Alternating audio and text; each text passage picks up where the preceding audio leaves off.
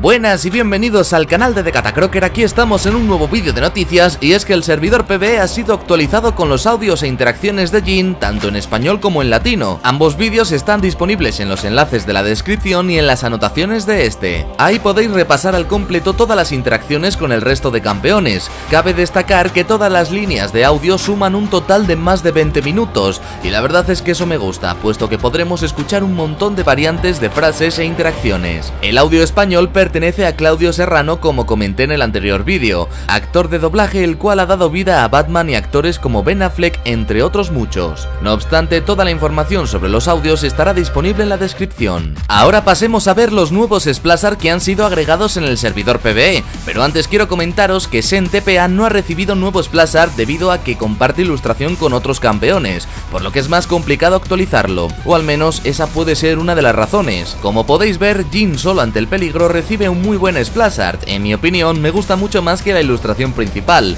Este aspecto costará 1350 Riot Points y desconozco si estará rebajado en su salida, lo que sí está claro es que podremos conseguir al campeón y su skin en un pack. Recordad que podéis ver la skin in-game en el enlace de la descripción.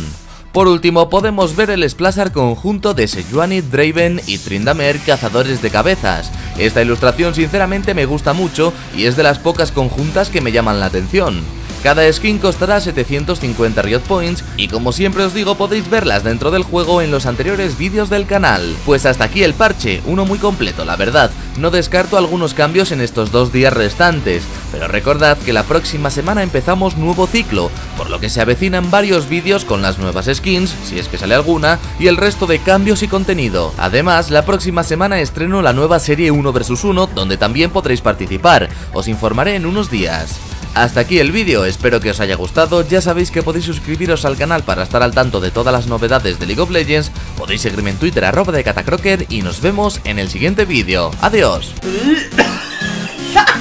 No, no me hagas eso, por favor, te lo pido.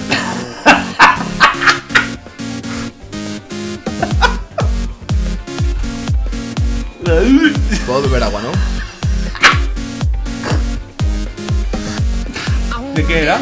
¿A qué sabe? ¿A qué sabe? ¿Qué matices tiene? ¿A madera de fe?